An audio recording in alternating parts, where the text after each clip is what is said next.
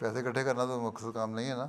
मूसियों को भी आदत डालो कि वो नमाज़ों में रेगुलर हों और कुरान करीम पढ़ने में रेगुलर हों और उसको समझने में रेगुलर हों ये वसीत का काम भी है।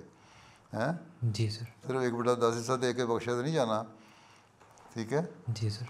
बाकी काम भी तो करने चाहिए ज़रूरी है ना रबी साहब?